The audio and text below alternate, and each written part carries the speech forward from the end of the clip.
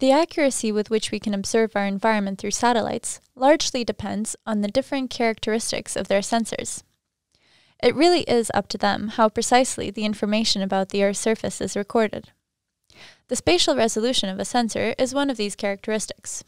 It states in meters the size of the Earth's surface, which is represented by one pixel. But what is a pixel?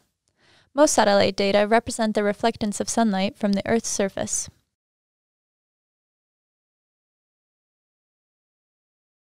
We call this raster display because each image is a grid of thousands of rows and columns filled with the different reflectance values of the corresponding area of the Earth. And we refer to the individual cells of these grids as pixels. We make a distinction between low, medium, high, or very high spatial resolution. If we compare the following images, we can see that this distinction means in practice.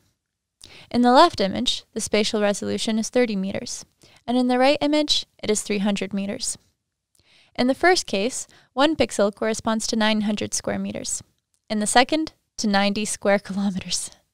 Which image has the higher resolution? Exactly, the left one.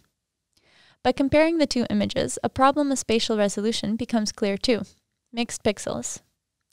The lower the spatial resolution, the more frequently objects close to one another are mapped together in one pixel. Since a pixel contains the reflection values of the displayed objects, the value in raster cells with several objects then corresponds to the mean value of the reflection values of the different objects. And thus, a mixed pixel of not one, but of several surfaces is created. With a rising number of mixed pixels, the distinction of different areas in an image becomes more difficult.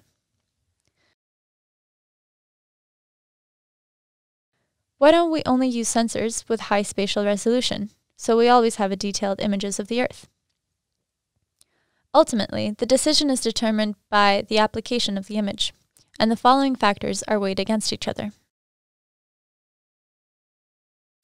Which observation system is used, because it makes a difference whether images are taken from short distances to the Earth's surface, such as from an airplane, or from a far off satellite. For especially detailed cartographic applications, the smallest possible distance to the Earth is usually chosen. 2. How often is new data from the same area required? A coarser resolution allows a larger extent of the area to be imaged and simultaneously shortens the time in which the satellite flies over an area again. This is especially important for weather satellites. 3. Which wavelengths need to be recorded?